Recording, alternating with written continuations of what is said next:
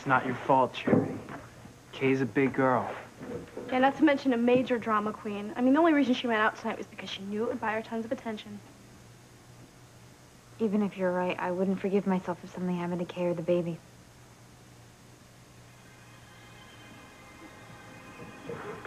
What's wrong?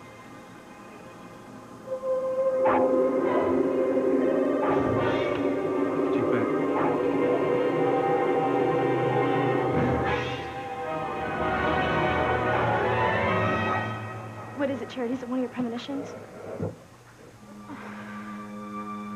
I just saw Kay in the street, and there was blood in the snow.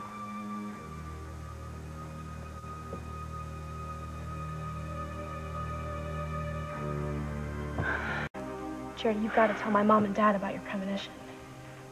What if I'm wrong, though? I don't want to scare them for no reason. You can't take that chance, Charity. I mean, what if you're right? What if Kay is out there all bloody in the snow?